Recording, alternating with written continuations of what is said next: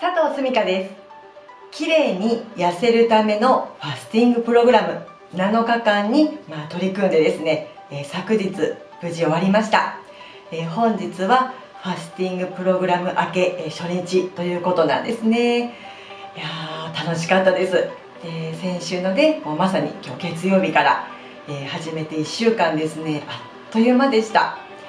えー、またあの私と同時期に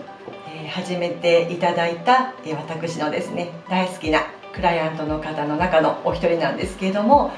その方とも昨日最後のですね LINE のやり取りいたしました。体重がねマイナス3キロ減ってすっきりしました。という嬉しいお声ですとかあとこう何より嬉しかったのはですねそのまあ、前回もその方2回目だったんですけれどもあの前回と同様もう先生その体にねこう悪いものをもう入れたくなくなりますよねというあの声がねあったんです。もう一番嬉しかったですね。あのそうなんですよ。お体がこう健康になればあの自然に痩せますしもう何よりもそのご自分がこう、えー、やりたいことなりたい状況にその環境になれるわけなんですよね。そういった意味でもこうファスティングをするとこう人生がますます好転されるなと本当にね心からこう思った充実した1週間でした、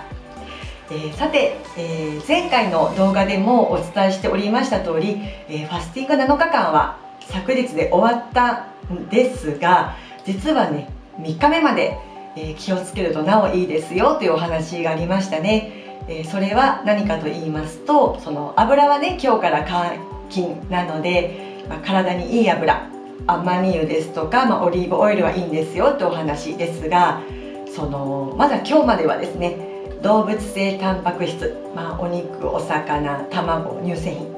などはあの私も今日までお休みしようと思っております。で今朝から私はですねこう何をいただいたかと言いますと、えー、朝食は、えー、もうおかゆにせずに炊きたての、えー、玄米もち麦入りご飯柔らかく炊いたものですね。とあの梅干しとあと少し海苔もいただきましたね。焼き海苔。美味しかったです。あとは、えー、いつもの私が、えー、大事にしているジョナサンというぬか漬けのですねぬか床の、えー、お漬物とあとはあそうあの納豆ですね。納豆を、えー、いただきました。久しぶりに。でこの納豆についているそのタレ皆さんどうされてますか、えー、ほとんどの方がこう、まあ、もちろん使えますとかね。あの別のものをこう入れて美味しくされる方それぞれだと思うんですけれども、えー、私のおすすめは、え、ズバリ塩麹です、えー、ちょっとここでねご紹介したいと思います。あの塩麹はもちろんその市販でそのねこうパックで売っているものもあるんですけれどもあの実は手作りすごく簡単なのをご存知ですか？え、ー、と私はちなみにこちらです。あの乾燥のですね、まあ、塩麹の素が売ってます。こちらは、えっ、と、いつものグリーンコープさんで、まあ、購入しているんですけれども、えっと、こちらあの裏に、まあ、麹の作り方も載っておりますからご参考になると思うんですがとここでご紹介しますね、えっと、私はこのあの麹を使って自分で塩麹を手作りしております。で例えばまあこちら1袋 500g に対しましてお塩が 160g でお水が約 750cc と書いてますね。でも簡単なんですよ。もうこの麹の麹とですね今お伝えしたこう材料を混ぜて12週間寝かせるだけなんです。でこれはですねあの、まあ、目安はうんやはり最低1日1回はこうかき混ぜてあげるですとかあとはその、まあ、暑い日は特に発酵しやすいと思いますからその要はこの麹が柔らかくなったらもう食べ頃ということなんですよね。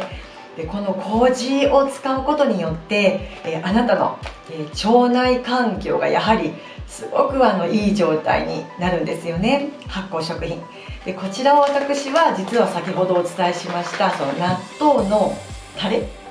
つゆのこう代わりにあの今朝もこの塩麹を入れて美味しくいただいたんです。ものすごく美味しいですよ。あのー、本当にお体にこう優しい味なんですよね。あのまあ物にもよると思うんですけれどもその市販のまあ、タレはですねこうどうしても、うん、人工的なまあ添加物がですね、まあ、美味しくするために入っていますからそういったのをこう知らない間に体に入れてしまうよりもこういった手作りの調味料をお使いになるとよりいいと思います。で私はまあこれも何にでも入れるんですね。もう味のこう下味とか味付けにも使います。例えばあのお味噌汁にも入れてその分お味噌の量を減らしたりとかですね、まあ、納豆にも入れますし野菜炒めにも入れますし何にでも入れますね。ドレッシングの代わりに使ったりとかですね。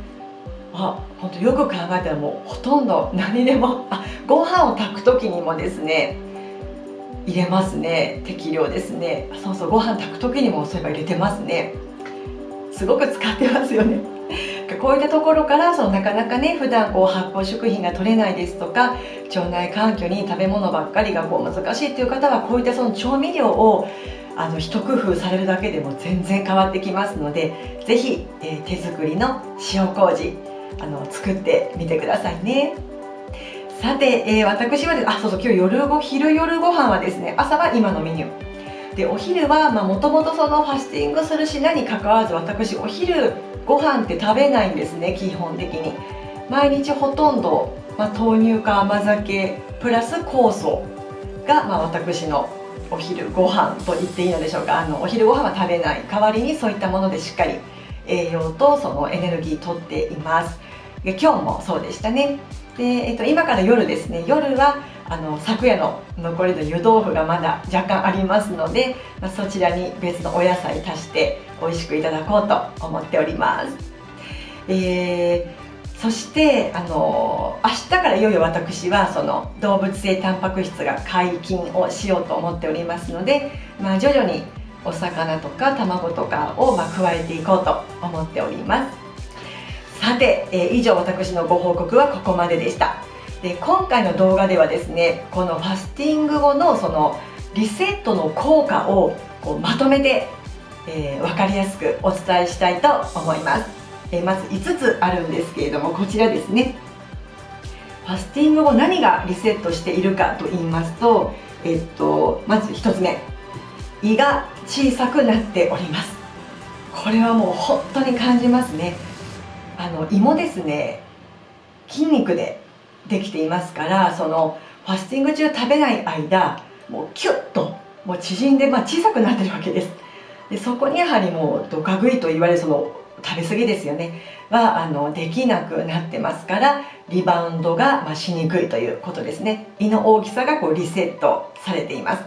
で逆にあの言うとその筋肉は伸びますからね。食べ過ぎてしまうと結局それに比例してどんどんどんどん胃が大きくなると、まあ、どんどん食べれてしまうということになりますからそこはもうあの要注意ですよね。では2つ目です、えー、内臓休息とあります。もうズバリこれはですねもう休むことなく毎日、えー、内臓って働いてくれてますよね。そうすると私たちもあのそうじゃないですか。こうちょこちょこお休みもらうよりもこう長期休暇って嬉しいじゃないですか。休んだみたいな。あのその状態を内臓にもこう時々一定期間与えてあげてくださいねということなんですよ。もうものすごく元気になってくれます。で特にあの、まあ、腸内環境も良くなりますしあのあとは肝臓ですよね。肝臓、えー、肝臓は普段こう一生懸命こうデトックスで頑張ってくれて、まあ、ほとんど休んでないわけですよね。その例えばそうですね。肝臓はもうデトックス工場ですからやはりこうしっかり休ませてあげることでその効果がこうどんどんあの上がっていく、まあ、臓器がリセットということですよね。で実はですねその食べ物を私たちこういただきますよね。でその食べたことでエネルギーとしてその使っていくわけなんですけれどもその実はその食べたものを消化するためにですねそのエネルギーの半分は使ってしまうんですよね。通常。あのもったいないですよね。あのどういうことが起きてるかというとその食べれば食べるほどそこから得たエネルギーを使っているということであの疲れてしまうというですねその結果になってしまうんですよ。でこれはですねファスティングをされるとよくご実感できると思います、えー、なぜかというと私もそうなんですけれどもその3日間お食事をお休みした間にその、まあ、食べてないんですよね。で実は体がすごく軽かったり楽だったりあの本当にあのきつくないんですよね。元気なんです。でだんだんその回復食を始めるにあたって食べ物をこう入れていくとあのこうやたら眠くなったりですね。あなんか昨日よりきついみたいな。ちょっとね疲れたなーっていうその疲労感がまあ出るんですよ不思議と。ああこれはエネルギー、まあ、消化にエネルギーをこう使っている証拠だなって思うんですけれども。まあ、そういうことなんですよ。食べ過ぎてしまうとエネルギーを使いすぎてしまって結果疲れやすくなってしまいますよということがあなたの体の中で起こるということなんです。はいそれでは次は3つ目です。味覚が鋭くなるなんですね。あのこれは本当にねすごい力なんですね。え例えばこう昨晩私は湯豆腐をいただいたんですけれども普段ですとそのちょっとこうポン酢かけたりしていただくんですが、えー、昨夜はですねあの昆布だしの味だけでも十分美味しいとこういただくことがあの不思議とこれがねできるようにこうなるんです。またそのファスティング後はですねその、まあ、ジャンクフードと言われるようないわゆるその、うん食品添加物、まあ、薬品系のですね味がもうとにかくよく分かるようになりますからあのお口に入れるだけでもこうおえっとね今までこう食べれたものがま食べれなくなるというこの力をこう手にするもともとあったその正しい味覚がこう蘇っているこの状態味覚リセットですね。あのこのですね力はぜひあの手に入れていただきたいなと思います。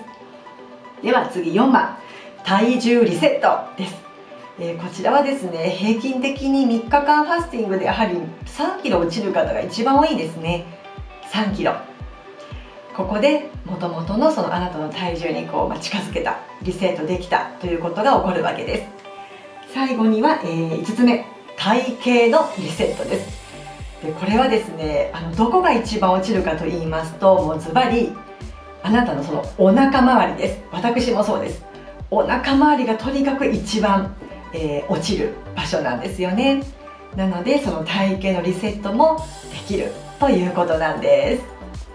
さあいかがでしたでしょうか、えー、今回はファスティング後のリセットの効果を5つにまとめてお伝えしました。え、また今後もですねこのファスティング、ま、要は腸内環境に関するあの発信を続けてまいりますのでぜひお役立てください、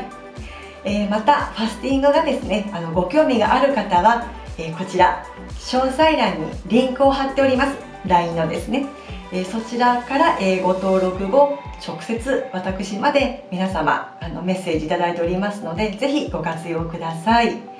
えそしてこの動画のお話をこう繰り返しあのご覧いただいて繰り返しこう思い出していただくことであなたご自身と大切なご家族のためにお役立てくださると嬉しいです。